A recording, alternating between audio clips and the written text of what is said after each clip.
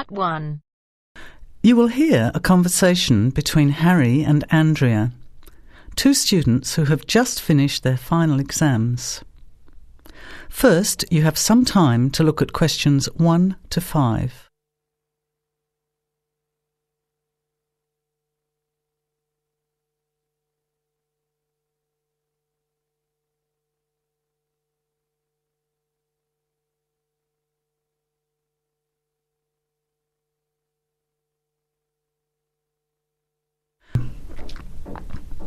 Listen carefully to the conversation and answer questions 1 to 5.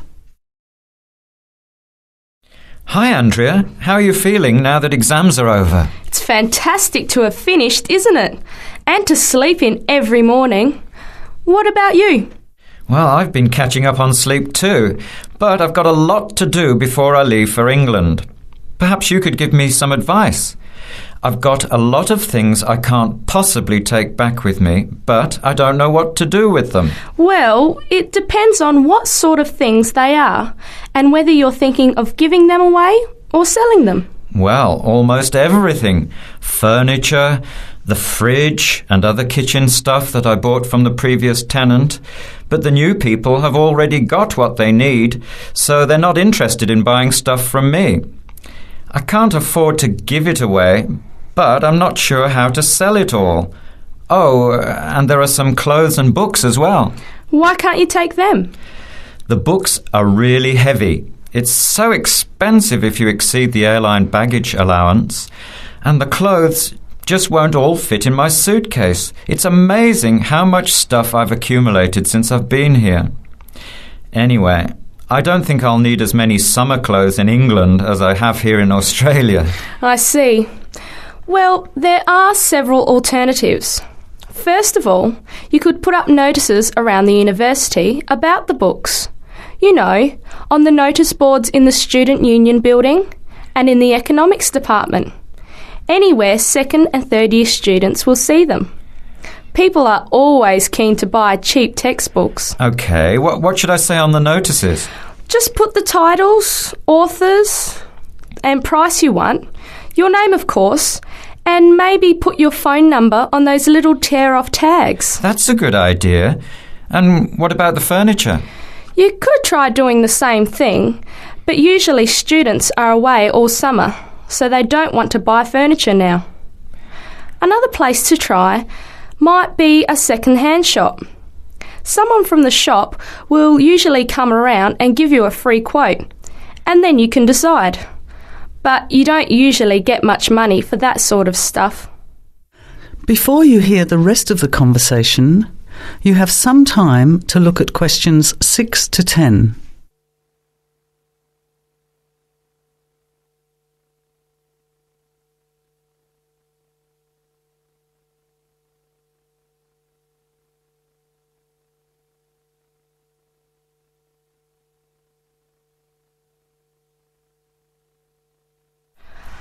Alternative is to put an advertisement in the Trading Post. Do you know that paper?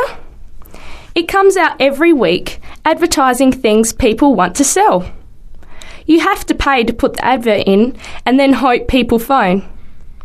Give them as much information as possible, and if they're interested, invite them to come and have a look. The hard part is agreeing on a price. No, I haven't seen the trading post, but I should have a look at it. And I could advertise the fridge, the microwave, and the furniture.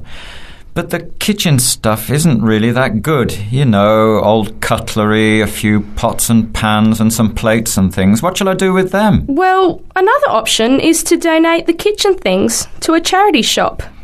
You know, like the Salvation Army or St. Vincent de Paul. Why don't you get a second-hand shop to give you a quote first? Yes, I could do that. Find out how much they'll give me, and then decide whether to sell them or give them away. But I've still got the clothes. A charity shop will take them too, as long as they're in good condition. And even though you don't get any money, at least you know that someone who really deserves some help has benefited. That's a good point. I'll advertise the expensive stuff, the furniture, and donate the clothes and kitchen stuff. Let's go and buy a trading post and you can help me write the advert. Well, actually, I'm interested in buying the fridge and the microwave, depending on the price, of course. Okay, let's see how good you are at bargaining. That is the end of part one. You now have half a minute to check your answers.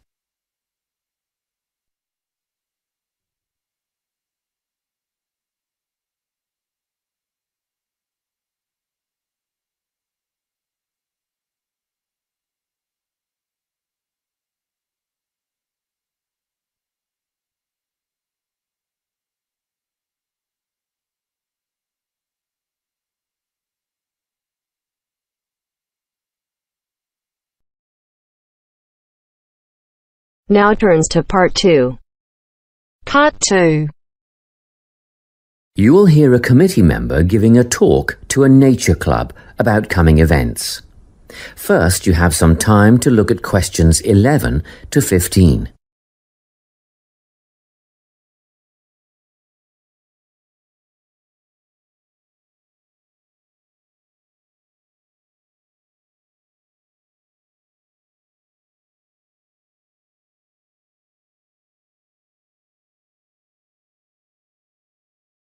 Listen carefully and answer questions 11 to 15.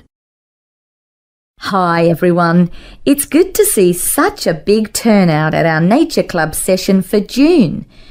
Just before we start this evening's workshop, I'd like to draw your attention to what we have in store for you in the second half of the year. First of all, the guided bushwalk. This is always a favourite starting out on the Springvale Plateau and continuing down into a section of the State Conservation Area. Last year, we invited children aged 8 and over if they came with a parent, but the track has been washed out in a few places since then and it can be quite rough. So, this year we considered restricting it to adults only. However, on reconsideration, the committee has now decided to recommend it for all bushwalkers who are over the age of 12. Another very popular option is the bird observation walk. We'll be searching for both migratory and native birds as we walk through tidal marshlands and mangroves, and you can expect to get your feet uncomfortably wet and muddy if you don't wear rubber boots. These are a must. The leader will have a strong pair of binoculars, so we'll rely on her to name the species for us. And we've ordered some bird identification books that you may wish to purchase at a later date. From the bush to the swamp, and now to the sand dunes. Our leader will help us identify plants native to the local area, as well as some invasive weed species. We'll be asking for volunteers to help pull out the weeds where possible, so a pair of sturdy gardening gloves is essential. Spades and other tools will be provided. It could get very hot and you'll need water, plenty of it, but a local business owner is willing to provide bottled water free of charge. The next outing, Bush Tucker, is a new one. Have you ever wondered what life in this country would have been like 200 to 2000 years ago? Well, come on this trip and you'll find out how the indigenous inhabitants used local plants as food and medicine. Because lunch is included in this trip, there will be a small charge per person. We had originally thought $7 would cover the basics sausages and bread, followed by tea and coffee. But then we thought a few different cuts of meat and salad would be nice, and that brought the price up to $12 a head. At one stage, we even contemplated including seafood, but that would have been a bit too expensive around $15, so meat and salad it is. We expect this to be a popular event, so we'll need advance bookings to organise the catering. Please let us know your intentions by the 10th of November and be aware that we'll require prepayment by the 15th of November. You can still change your mind and get a refund up to the 25th of November, but after that date, if you pull out, you'll forfeit the money paid. Before you hear the rest of the talk, you have some time to look at questions 16 to 20.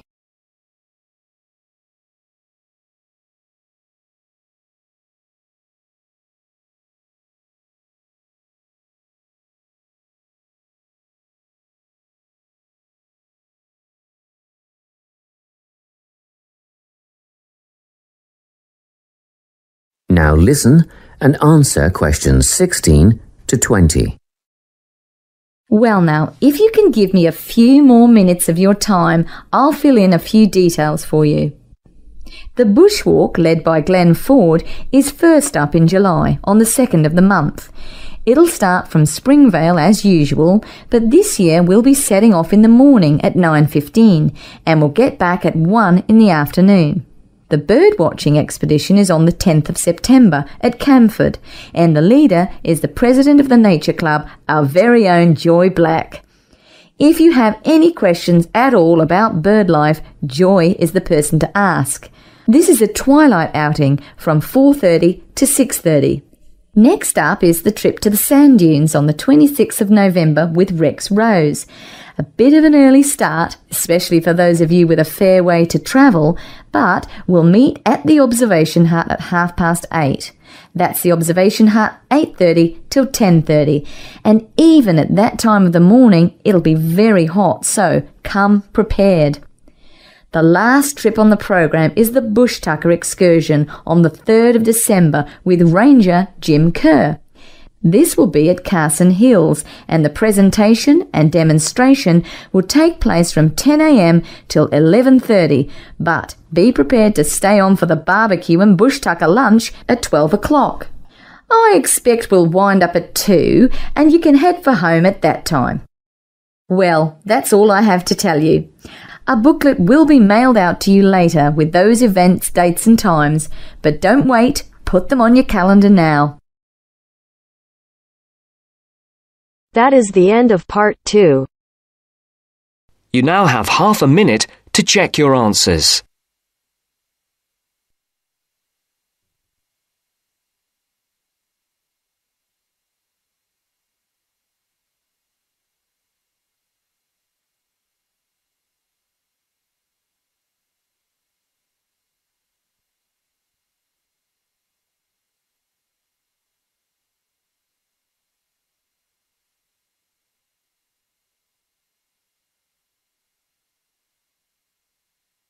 Now turns to part three.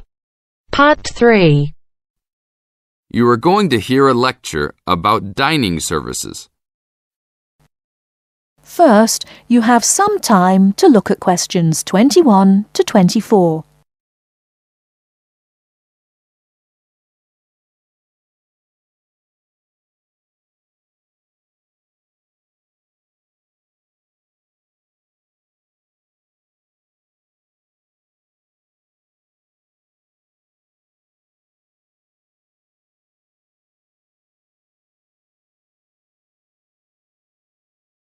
Now, listen carefully and answer questions 21 to 24. Welcome to the Dining Commons. This is the newest facility on campus, and I'm proud to say, also one of the best. I know that all university students miss eating home cooked food. Well, this year, we are hoping to provide students with food and services that will make you feel at home, even without your family. The administration has been listening to the voice of the students. Students gave us frequent suggestions last year as to how we could improve the university. One of the most frequent suggestions was improving the dining options. We have been working hard all summer to come up with ideas that will make student life in the dormitories more pleasant. One of the new options we are offering in the dining facilities is variety in student meals. Last year, there was a set menu for every dinner, so if students didn't like the food, there was no choice. Students had to eat whatever was served. But this new dining facility has three completely unique areas, each with a different theme. At every meal, there will be three options for students to choose from. For example, there might be Italian food at station number one, which might consist of pizza and pasta. At station number two, there would be American food, consisting of hamburgers and hot dogs. At station number three, there could be vegetarian soups and salads. accommodating all the vegetarians. We hope that with the greater selection of food, all students will find something to their liking. Before you hear the rest of the talk, you have some time to look at questions 25 to 30.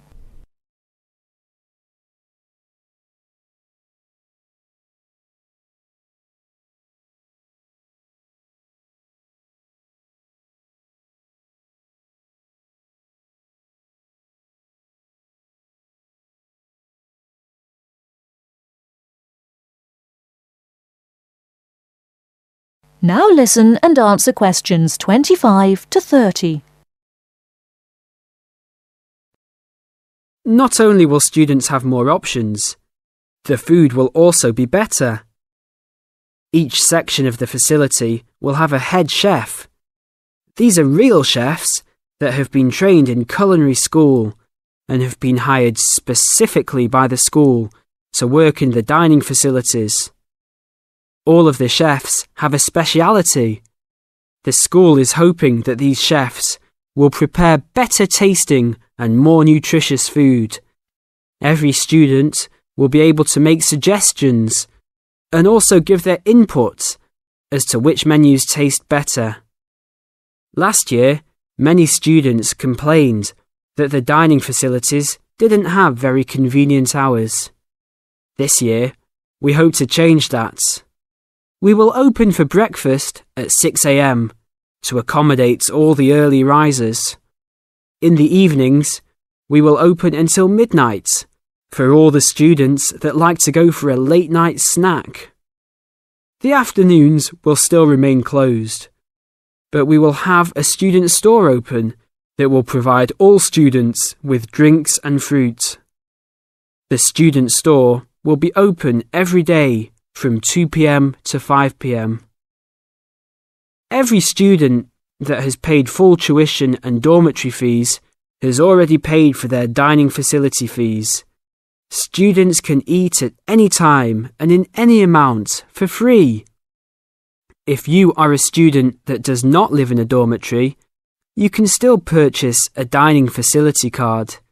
This card will entitle you to the full services of the dining facility.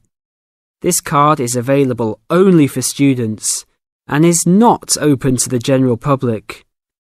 If you are not a student and wish to dine here, you must purchase meals at the door.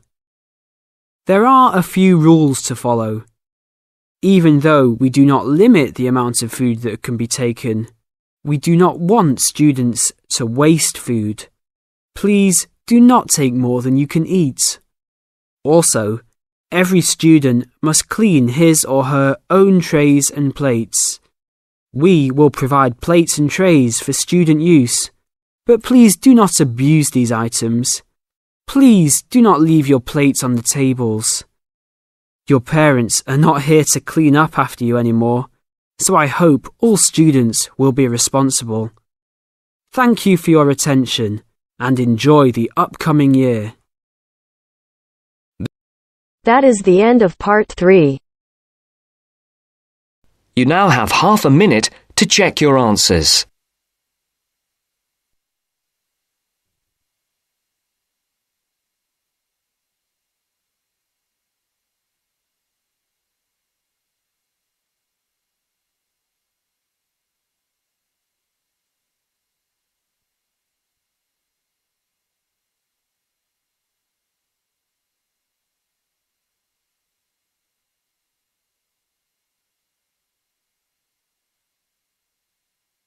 Now turns to part 4.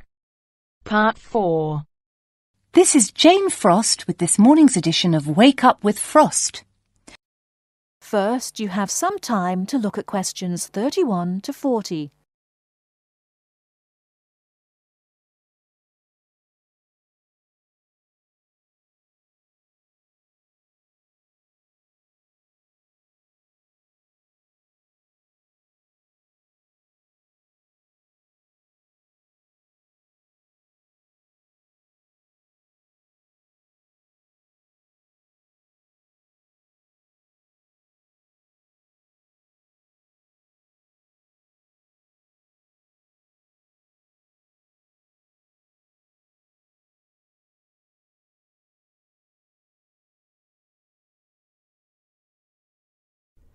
Now listen carefully and answer questions 31 to 40.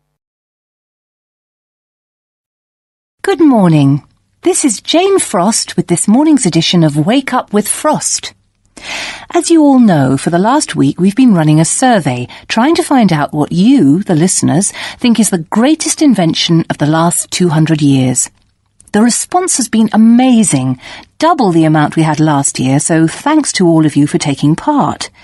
We've had about 2,000 responses online and about the same on our phone lines.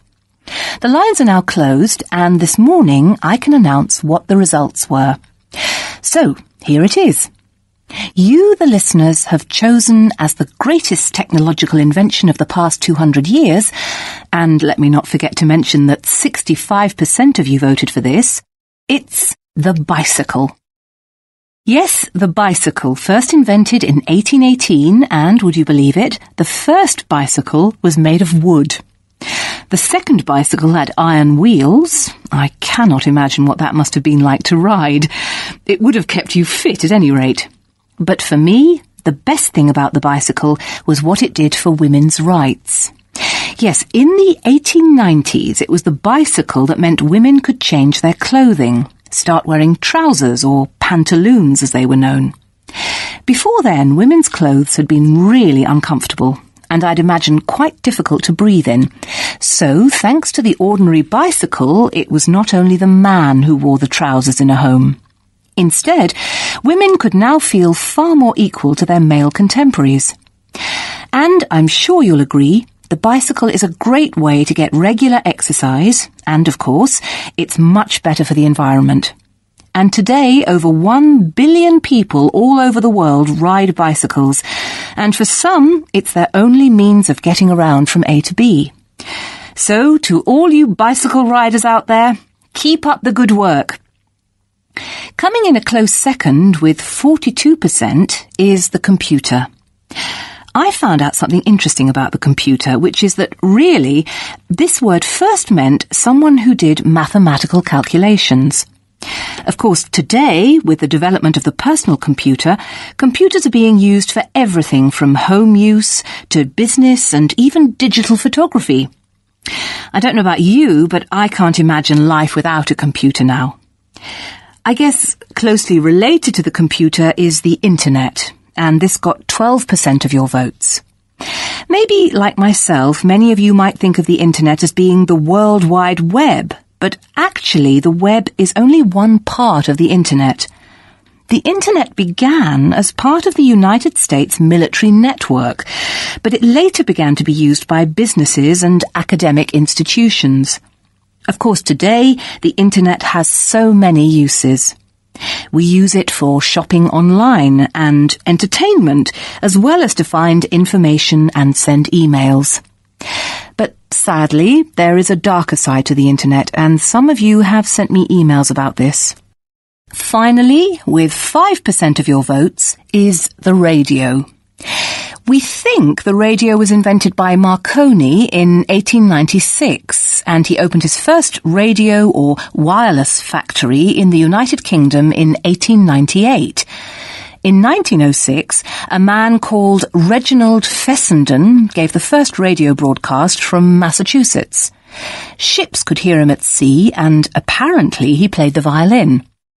As yet, listeners, I've spared you from having to listen to my guitar playing.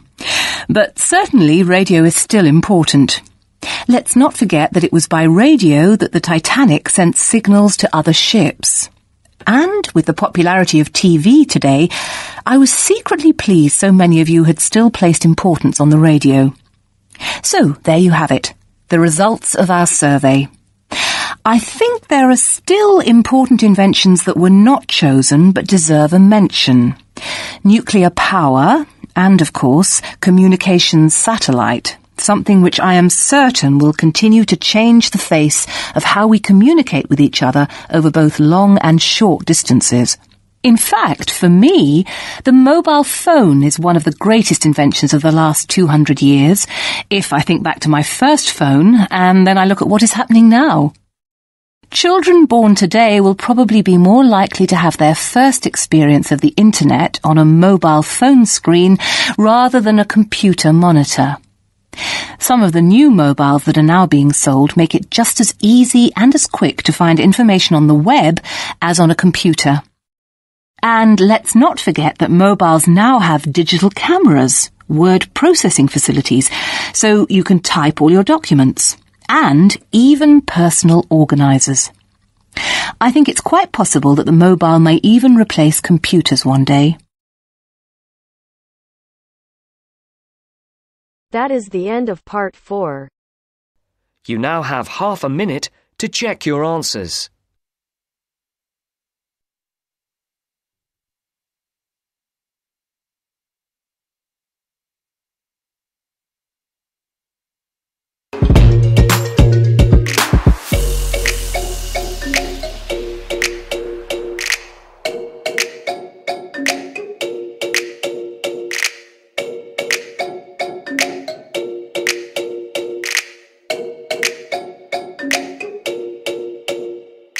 That is the end of the test. You now have 10 minutes to transfer your answers to your IELTS listening answer sheet.